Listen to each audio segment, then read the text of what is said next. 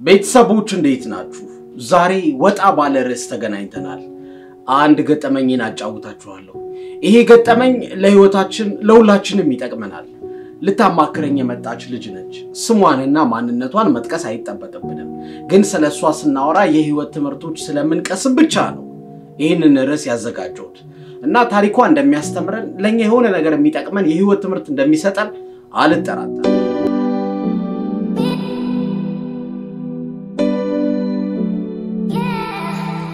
Inspire ኢትዮጵያ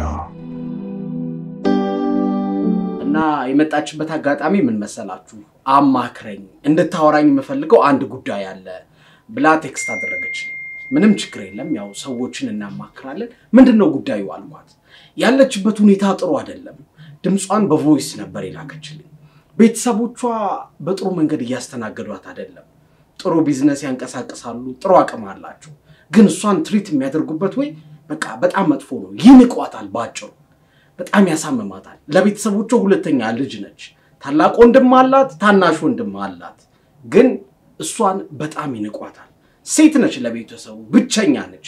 ግን እናቷም አባቷም አያከብሯትም። እኩዮቿን treat በሚያደርጉበት መንገድ እሷን አያከብሯትም እና በጣም ተማራለች። ገንዘብ እንኳን አይሰጧትም። መሰረታዊ ለሆነ ነገር አያሟሉላትም። አስቡት፣ መሰረታዊ ማለት የቁንጅና መጠበቂያ ወይም ውበትን መጠበቂያ አይደለም። normal ለሴት ልጅ የሚያስፈልጉ ነገሮችን እንኳን አያሟሉላትም። በጣም መሯታል። ግን እሱ ብቻ አይደለም አለችኝ። ከቤተሰቦቼ በተጨማሪ ከልጅነት ጀምሮ አብሬው የቆየሁት ፍቅረኛዬ በጣም ነው የሚንቀኝ። በቃ እኔ ብቻ ነኝ የምወደው የሚመስለው እና እኔ ነኝ የምንከባከበው። እሱ ግን መልሶ እኔን በምፈልገው መንገድ አያስተናግደኝም፣ ይንቀኛል። እኔ ብቻ አብረን እንድንቀጥል የምንፈልግ ነው የሚመስለው አለችኝ። እና እኔ ጋር ስትመጣ በጣም ተማርሬያለሁ። ህይወቴ ውስጥ በቃ የሆነ ከባድ ነገር ውስጥ ነኝ። መወሰን እፈልጋለሁ፣ መውጣት እፈልጋለሁ። ምን ማድረግ እንዳለብኝ አላውቅም። በጣም ከባድ ሁኔታ ውስጥ ነኝ ብላኝ ነበር የመጣችው እና ስለ እሷ ነው ማወራችሁ። ምን እንዳልኳት ከዛ በኋላ በህይወቷ ምን እንደተፈጠረ በደንብ አድርጌ ያጫውታችኋለሁ። ስለ እሱ ከማውራታችን በፊት ግን በየመሃሉ አንዳንድ የህይወት ትምህርቶችንም አብረን እንወያያለን። ምክንያቱም እኛም ውስጥ እንደዚህ አይነት ቀናት ይመጣሉ። ሰዎች ባይንቁን እንኳን የተናቀን የሚመስለን ቀናቶች ይኖራሉ። ስለዚህ ስለ ህይወት እናወራለን። በነገራችን ላይ በህይወታችን ውስጥ አራት አይነት ወቅቶች አሉ። እነዚህን ወቅቶች አናስቀራቸውም። ይመጣሉ፣ ይሄዳሉ። አንዱ አንዱን ተክቶ ይሄዳል። ሰኞ ሲመጣ ገፍተን አናስቀረውም። እሱም ቢሆን ከመጣ በኋላ ጊዜውን ጠብቆ ማክሰኞን አስረክቦን ይሄዳል። እነዚህም ወቅቶች እንደዛ ናቸው። ከባድ ጊዜያት ይሆናሉ። የተለያዩ ወቅቶች ናቸው። አሁን አውራችኋለሁ። የመጀመሪያው ምን መሰላችሁ? ክረምት ይባላል። በህይወታችን ውስጥ በጣም ከባዱ ጊዜ የምንፈተንበት፣ አረ ጌታዬ ምን አጠፋው፣ ምን በደልኩ የምንልበት ወቅት ነው። ይህንን ክረምት ተዘጋጅተን መጠበቅ ነው ያለብን። እንደውም አንድ በጣም የሚገርመኝ ታሪክ አለ። ሰውየው ሁለት የተለያዩ ሰዎች ቤታቸውን ሰሩ። አንደኛው አሸዋ ላይ ቤቱን ገነባ፣ አንደኛው ደግሞ አለት ላይ ድንጋይ ላይ ቤቱን ገነባ። ከዛ ንፋስ ነፈሰ፣ ዝናብም ዘነበ። ያ አሸዋ ላይ ቤቱን የገነባው ንፋስና ዝናቡ ቤቱን ጠራርጎ ይዞት ሄደ። አለት ላይ የገነባው ግን ምንም አልሆነም ቤቱ። አያችሁ፣ በህይወታችን ውስጥ ከባድ ጊዜያት ሲመጡ ካልተዘጋጀን ካልጠነከርን እንደ አሸዋ ላይ እንደተገነባው ቤት ጎርፉ ጠቅልሎ ይወስደናል። ስለዚህ አሸዋ ላይ ከመገንባት ይልቅ አለት ላይ እንድንገነባ የሚያደርገን ከባድ ጊዜያትን እንድናልፍ የሚያደርገን ዲስፕሊን። በህይወታችን ውስጥ ዲስፕሊን ካዳበረ ቢደብረንም ቢከፋን ደስ ቢለንም ባይለንም ምንም ብንሆን የምንሰራቸውን ስራዎች የማናቆም ከሆነ ከባድ ጊዜያት ሲመጡ እናልፋቸዋለን። በነገራችን ላይ ክረምቶች በሁለት ምክንያት ይመጣል። የመጀመሪያው በእኛ ጥፋት ምክንያት ሊመጡ ይችላል። ሁለተኛው ደግሞ በተፈጥሮ ስለማይቀሩ ይመጣል። ምን ማለት መሰላል? በእኛ ጥፋት ምክንያት ማለት በእኛ ዝንጉነት፣ በእኛ ቸልተኝነት፣ በእኛ ስንፍና ምክንያት ህይወታችን ላይ ከባድ ጊዜያት ይመጣል። ምን ማለት መሰላችሁ? አንድ ተማሪ ካላጠና ውጤቱ ቢበላሽ በራሱ ስንፍና ነው። አንድ ሰው ሚስቱን ካልተንከባከባት፣ ፍቅረኛውን ካልተንከባከባት ቢለያዩ በራሱ ጥፋት፣ ጤናውን ካልጠበቀ በሽታ ቢይዘው በራሱ ምክንያት። ግን ደግሞ አንዳንድ ጊዜ ማንቆጣጠራቸው ክረምቶች አሉ፣ ከባድ ጊዜያት። ምን ማለት መሰላችሁ? በቃ እኛ ሳንፈልግ እኛ ሳንጠብቅ የሚመጡ በሽታ ይሆናል፣ የኑሮ ውድነት ይሆናል፣ ሰላም ማጣት፣ አገር አልረጋጋ ሊል ይችላል። ከባድ ነገሮች ይመጣሉ። እኛ ማንቆጣጠራቸው variables። ምን አልኳት መሰላችሁ? እነዚህን ሰዎች መጀመሪያ እርሺያቸው ውጫዊ ምክንያት ናቸው። ቤተሰቦችሽም፣ ፍቅረኛሽም ወይ boyfriend ሽም ውጫዊ ምክንያት ነው። አንቺ ራስሽ ላይ አተኩሪ። እስኪ ትምህርትሽ ላይ ስሪ። ጠንክረሽ ስራ ካለሽም የሆነ ገቢ የምታገኝበት መንገድ ፈልጊ። በተቻለሽ አቅም ስለ ራስሽ አተኩሪ። አንቺ ወደ ራስሽ ባየሽ ቁጥር ሰዎች ወደ አንቺ ማየት ይጀምራሉ አልኳት። እንደዚህ አይነት ከባድ ጊዜያት የሚታለፉት በእንደዚህ አይነት ዲሲፕሊን ብቻ ነው። በእኛም ህይወት ውስጥ ከመጡ አሪዞና ውስጥ ሁለት አይነት ዛፎች አሉ። ክረምት ሲሆን አሪዞና ውስጥ በጣም ያስፈራል። ንፋሱ፣ ወጨፎ፣ ከዛ ደግሞ በረዶ አለ። ከዛ ግን ዛፎቹን ከነስራቸው ነቅሎ ይጥላቸዋል። አንዳንዶቹ ይገነደሳሉ። ግን ያንን ከባድ ወቅት የሚሻገሩ ዛፎች አሉ፣ ቀጥ ብለው የሚያልፉ። እነዚህ ዛፎች ምን አድርገው መሰላችሁ? ቀጥ ብለው ስላችሁ ግን ያልፉታል ማለት ነው።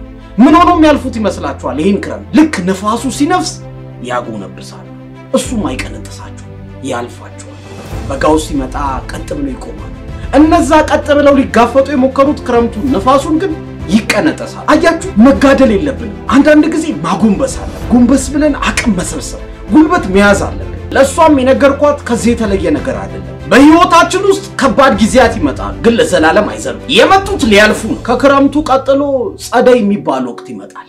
ይህ ወቅት ክረምቱን ተከትሎ ነው ሁሌም የሚመጣው። ይህንንም ወቅት አናስቀረውም። በህይወታችን ውስጥ ከክረምቱ ቀጥሎ ጸደይ ሲመጣ እድሎች ይመጣሉ። አሪፍ አሪፍ እድሎች የሚያስቆጩ ይሆናሉ፣ የሚያጓጉ ይሆናሉ። በተለይ የማይጠቀምበት ሰው ይቆጨዋል። በህይወት ውስጥ ይህን ነገር ለምን አላደረግኩትም ብለው ይቆጫል። መጠቀም አለብን።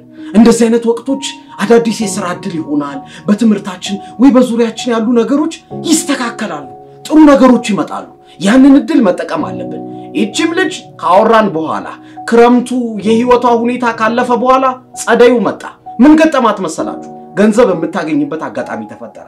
ቤተሰቦቿ በራሳቸው የሚያንቀሳቅሱት ቢዝነስ አለ። ምን አሏት መሰላችሁ? ገንዘብ ስትጠይቃቸው ምናልባት እንደ አንድ ሰራተኛችን እኛ መስሪያ ቤት ቀጥረንሽ ገንዘብ መስራት ከቻልሽ እንከፍልሻለን አሏት። ተቀጠሪ አሏት። አስቡት፣ ተቀጠረች። ያውም የተቀጠረችው በወረደ ገንዘብ ነው። እድሎቹ አንዳንዴ አያስተማምኑ። ወይ ሊያሳልፉልህ ይችላሉ፣ ወይ ሊያልፍብህ ይችላል። ግን እድል ነው፣ መጠቀም አለብህ። እሷም የቤተሰቦቿን ጥያቄ ተቀብላ ተቀጠረች፣ ስራውን መስራት ጀመረች። ከዛ ጸደዩን ተከትሎ በጋው ይመጣል፣ ረጅሙ ወቅት አሰልቺው።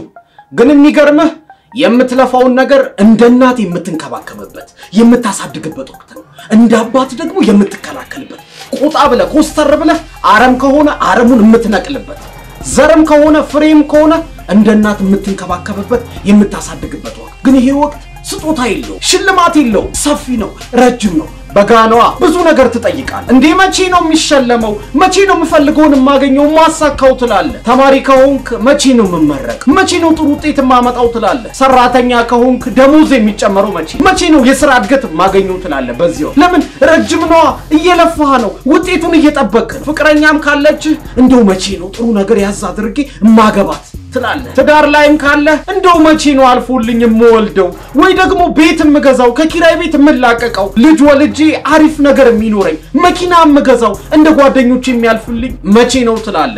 ከባድ ነው ይሄ ወቅት።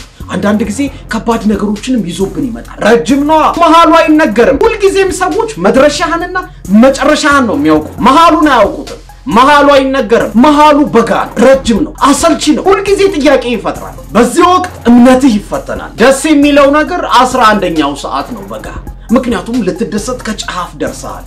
ስለዚህ ምን ማድረግ ነው ያለብህ በበጋ ወቅት ወይም በዚህ ረጅም ወቅት?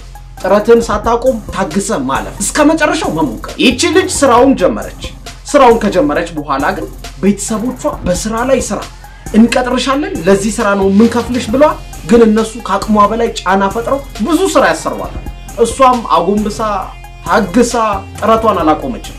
በመሃል ግን ስራው busy ሲያደርጋት ወደ ትምህርቷ ወደ ራሷ ስታተኩር ፍቅረኛዋ ደግሞ ለምንድን ነው ጊዜ የማትሰጪ? ከማን ጋ ጀምረሽ ነው ማለት ጀመረ። በነገር መጎንተል ጀመረ። ምን አሳጣሁሽ እኔ ማለት ጀመረ። እሷ ግን አሁንም መልሷ ጥሩ ነበረ። እኔ ስራዬ ላይ ነኝ እንጂ ከአንተ ጋር ከአንተ ሌላ ሰው ለምጄ አይደለም አለችው። አላመናትም። በጣም ነገረኛ ሆነ። በተራው እሱ ጠያቂ ሆነ፣ ጨቅጫቂ ሆነ። ድሮ የምትንከባከበው እሷ ነበረች። አሁን ጊዜ ስጭኝ የሚለው እሱ ሆነ። ተገለበጠ ጠረጴዛው። መጨረሻ ላይ እንደውም አልፈልግህም አለችው።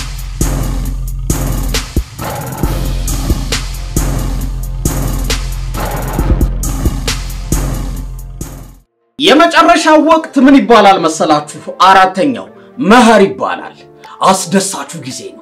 የዘራኸውን የምታጭድበት ወቅት ነው። በነገራችን ላይ አረም ከዘራህ አረም ነው የምታጭደው። ፍሬ ከዘራህ ደግሞ የለመለመ ፍሬ ታጭዳለህ። የምትፈልገውን አታገኝም። የለፋህበትን የሚገባህን ነው የምታገኘው። ክረምት ላይ፣ በጋ ላይ፣ ጸደይ ላይ የተጠቀምካቸው እድሎች፣ ያባከንካቸው ነገሮች፣ የለፋህባቸው የዘራሃቸው ነገሮች አሁን ታጭዳለህ። ይሄ ጊዜ ምን ነው ለዘላለም በሆነ ትላለህ። ለምን ያስደስታላ?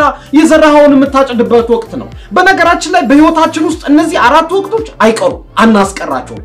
መኸሩም ይመጣል። የደስታው ጊዜ ነው። ሁሉም ሰው የሚፈልገው ይህንን ወቅት እንዳልኳችሁ ነው፣ ለዘላለም ቢሆን ይላል። ይችም ልጅ መኸሩ መጣላት። እንደዛ ቤተሰቦቿ እንዳልናቋት፣ እንደዛ እንዳልሰደቧት፣ እንዳላንቋሸሿት አሁን የእነሱን ቢዝነስ እሷ በትከሿ ተሸክማ ማንቀሳቀስ ጀመረች። ከምትሰራው ስራ ብዛት የተነሳ ያለ እሷ ቢዝነሱ እንዳይታሰብ አደረገ። እሷ ከሌለች እኮ ያ ስራ አይሰራም ተባለ፣ ባዶ ነው ተባለ። ለምን? አብዛኛውን ስራ የምትሰራው እሷ ነች። ሂሳብ የምትዘጋው፣ የምትቆጣጠረው፣ ነገሮችን የምታስኬደው እሷ ሆነ። መጨረሻ ላይ ቤተሰቦቿ ስንት ብር እንጨምርልሽ ማለት ጀመሩ። ሳታስበው የቤቱ አለቃ ሆነች። ከመሬት ተነስታ እንደዛ እንዳልተናቀች ከፍ አለች።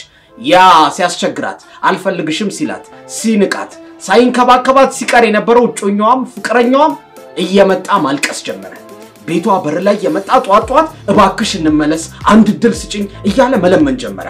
አያችሁ፣ ሰነፍ ስለሆንን አይደለም፣ አቅም አተን አይደለም፣ ከማንም አንሰን አይደለም፣ ግን ወደ ራሳችን ስላላተኮርን ነው። ፍቅረኛዬ ፍቅረኛዬ ስንል ለራሳችን ስለማንሆን እንናቃለን። ቤተሰቦቻችን ጥረታችንን ያዩና ሰነፍ እንመስላችኋለን። ለምን አቅማችንን አውጥተን እስከ ጥግ አንሞክርም? በህይወት ውስጥ ሰዎች እንደ ሞኝ ሊያዩህ ይችላሉ። ከአንተ የሚጠበቀው ብልጥ እንደሆንክ ማሳየት አይደለም። ሙሉ አቅምህን ትጠቀምና ወደ ዓላማ ታዘነብልና ያኔ ማን እንደሆንክ ታሳያችኋለህ። ሞኝ አይደለህም። ቤተሰቦች ባወራንበት ርዕስ ከተመቻችሁ ከወደዳችሁት like፣ comment ማድረግ አትርሱ። ለ Inspire ኢትዮጵያ አዲስ ከሆናችሁ channel ኣችንን subscribe አድርጉ። አዳዲስ ቪዲዮ ስንለቅ የማሳወቂያ መልእክት እንዲደርሳችሁ የደወል በተኗን መጫንም አትርሱ። አብራችሁን ስለቆያችሁ በጣም አድርጌ አመሰግናለሁ።